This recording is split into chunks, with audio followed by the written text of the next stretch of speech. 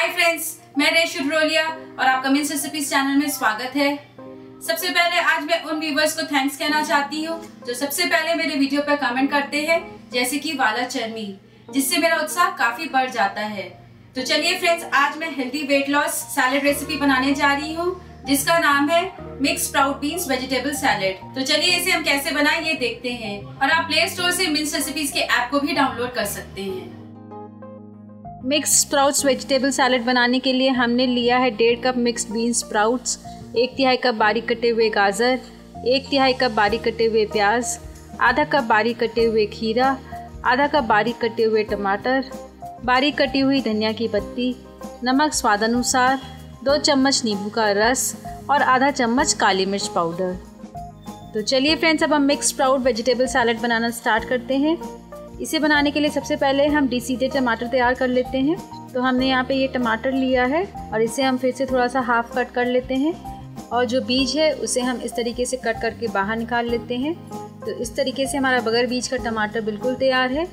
अब इसे हम छोटे छोटे पीसेस में कट कर लेते हैं और ये टमाटर को हम सैलड बनाने में इस्तेमाल करेंगे।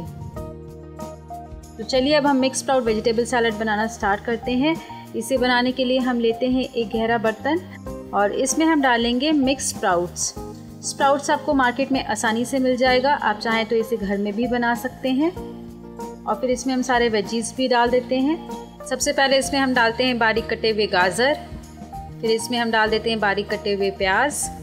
बारीक कटा हुआ खीरा भी डाल देते हैं। और फिर इसमें हम डालते हैं कटे हुए टमाटर।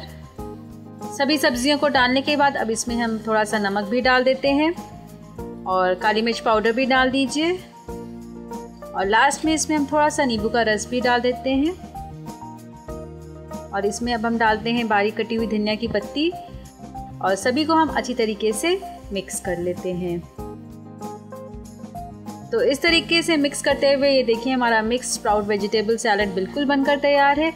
इसे आप सुबह के नाश्ते के समय सर्व कर सकते हैं। कैसी लगी हमारी वेट लॉस की रेसिपी है ना बहुत आसान? यदि आपको ये रेसिपी पसंद आई है तो मेरे वीडियो के नीचे सब्सक्राइब का बटन है, इसे आप ज़रूर क्लिक कीजिए और मेरे चैनल को सब्सक्राइब कीजिए। और भी नई रेसिपीज़ देखने के लिए आप हर ट्यूसडे और सैटरडे मेरे चैनल पर विज़िट कर सकते हैं।